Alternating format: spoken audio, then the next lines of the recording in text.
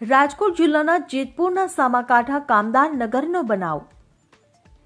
કામદાર નગર વિસ્તારમાં ઝૂંપડામાંથી મળી આવ્યો મૃતદેહ.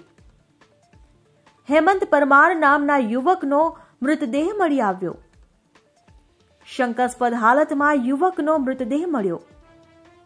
મૃતકના મૃતદેહને પીએમ અર્થે સિવિલ હોસ્પિટલ ખાતે ખસેડાયો. હત્યા કે કુદરતી મોત પીએમ બાદ સાચું કારણ સામે આવશે. પોલીસે ઘટના સ્થળે પહોંચી તપાસ શરૂ કરી.